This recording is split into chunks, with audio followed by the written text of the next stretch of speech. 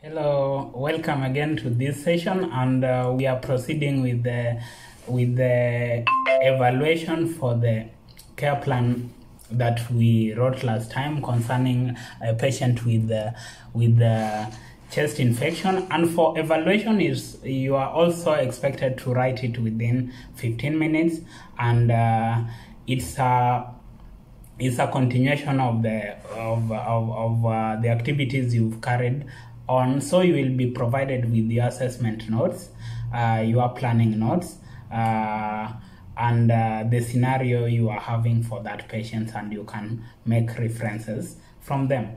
So for evaluation there are things that you need to take note of that maybe keeps on uh, uh, failing uh, a number of candidates.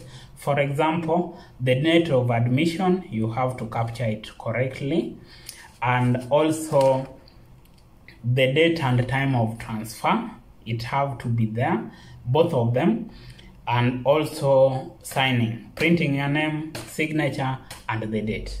Those are small aspects that keeps on taking uh, candidates back for for the receipt. So for for the evaluation you have to be very careful.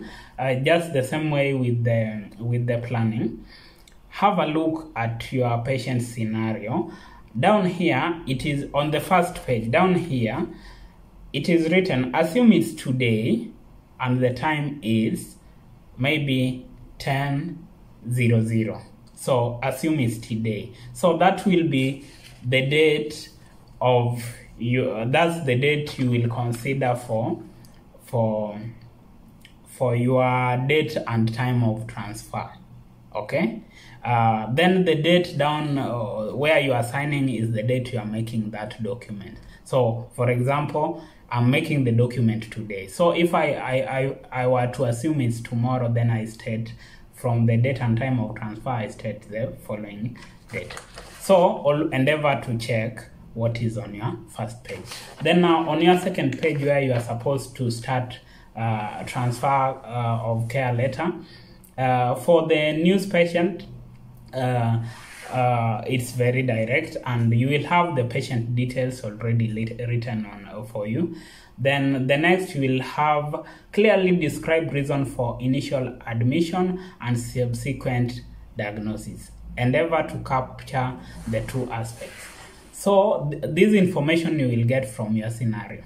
So you need not to be worried and you need to be aware of your scenario while making your evaluation paper so you will state that Joe was admitted with a history of breathlessness three days ago and chest pain and was later diagnosed with chest infection. This diagnosis will be provided in your in your scenario. That's what you that's where you capture it. So just write something brief on the same, but capture the reason for admission and endeavor to state the diagnosis. You must have two for that portion to be correct. Then the date of admission, you will also capture that one from from your uh, from your notes or the scenario you've been given. Then now you move to the third portion, which is stating identify the main nursing needs addressed during the patient stay in uh, in your unit or the medical unit. So remember to capture even if you forget all other elements that the patient might be having, endeavor to capture your problem one and problem two that you stated in your care plan. With that one, you are done. Even if you have two of them, you are good to go. Then you can add any other problem that the patient uh, might be having. For instance, and uh, remember to make it a full uh, statement. For example, in this case, I'll state that Joe, is, Joe was uh, breathless, uh, I mean uh, breathless due to chest infection as evidenced by a respiratory rate of 23 you have to evidence it still because uh, the person receiving your letter will look into that aspect and that's what will uh, make them either consider your patient uh, for an immediate uh, evaluation or consider another patient. So you have to be objective.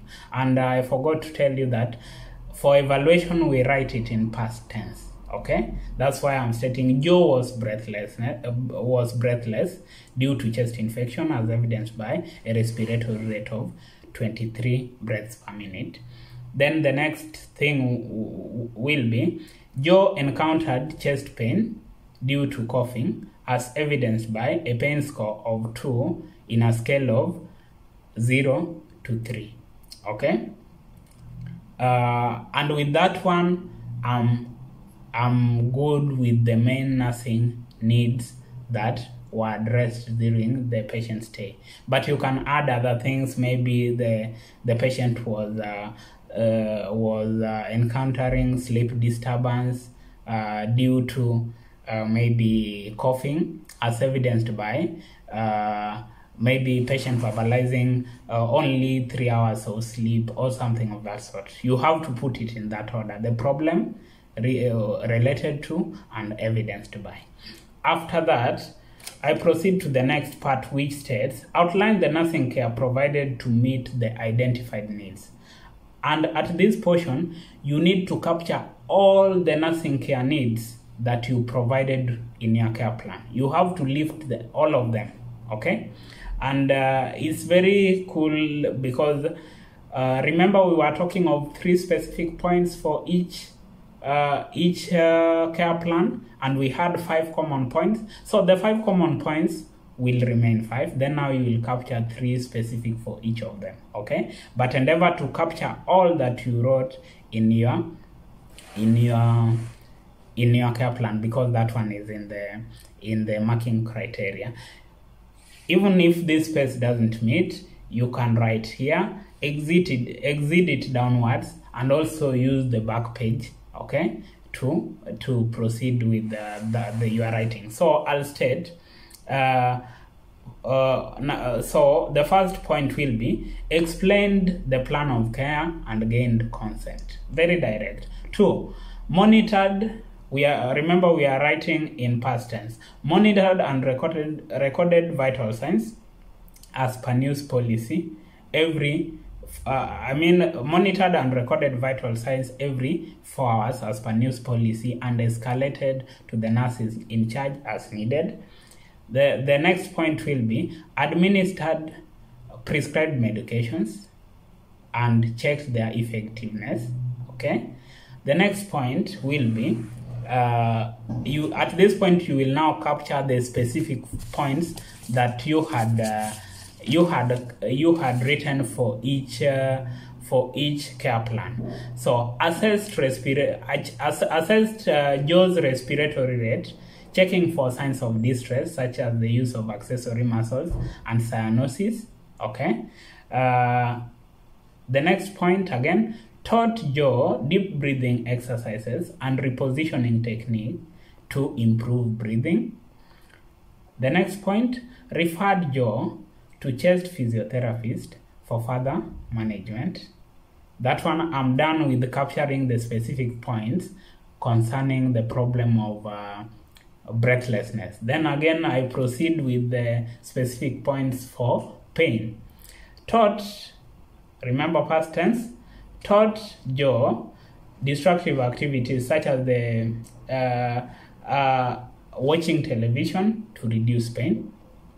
Referred referred uh, Joe to pain management team for further assessment, assessed Joe's pain, checking both verbal and non-verbal signs and using a scale of 0 to 3.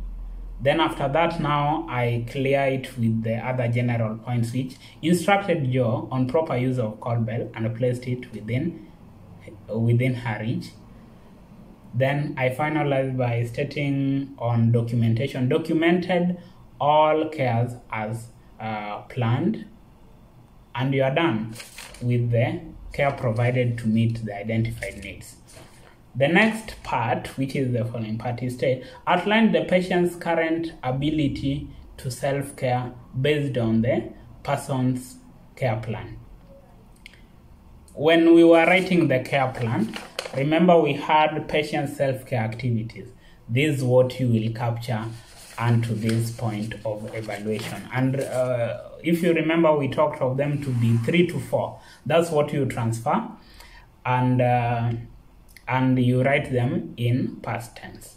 For instance, uh, Joe was able to use call bell appropriately or uh, was able to use call bell while in, uh, when he, when in need. Uh, Joe demonstrated uh, deep breathing exercises if that one was in your self-care. You only transfer what you wrote in your self-care activity. Or Joe demonstrated uh, uh, or uh, Joe uh, actively took part in uh, in, his care, in in her care plan, and also maybe Joe the other the other self care activity. Joe verbalized understanding of the care plan. Joe demonstrated proper use of call bell. Joe stated understanding of the health education given, and Joe actively took part in her own care. You can capture three of all those. Then the next point will be document the person's allergies and associated reaction. Remember, time is also not on your side. So the best uh, uh, thing to do unto this point, just write the allergy and the reaction. For instance, penicillin dash anaphylaxis. Then you can also state ranitidine dash stomach upset. Very direct. Don't make a statement because you don't have that time. Then the the next portion is list uh, areas identified for health education. Uh, for this case, you will ident- you will uh, capture all that was uh, stated while you are in your scenario. For instance, maybe the patient was uh, was having issues with the or patient is a smoker. You will state educated educated Joe on reducing smoking to improve health. Reason uh, the, the, the, the, the, aspect of education and rational. Okay, if it was about uh, maybe the patient is alcoholic, uh, educated Joe on reducing, not stopping, because you are also considerate of the patient's situation. Uh, uh, educated Joe on reducing uh, alcohol intake to improve well-being. Okay. Uh, if if during your scenario the patient was having issue with the medication compliance, then you can state educated Joe on medication uh, on uh, importance of uh, uh, co- complying with the medication to prevent a worsening of symptoms. Okay, if the patient was having issues with uh, uh, mobility or moving around, then you will state educated uh, Joe on proper use of assistive devices to enhance mobility. Okay, and uh, remember there are certain aspects that can only be captured for the health education. Okay, uh, and these relate with either lifestyle, uh, undertaking medication, follow up, and also uh, maybe the introduction of uh, referral uh, specialists. For example, educated Joe on the importance of uh, of uh, uh, chest physiotherapist referral to improve maybe chest or breathing exercises. So such aspects is what you capture under health education.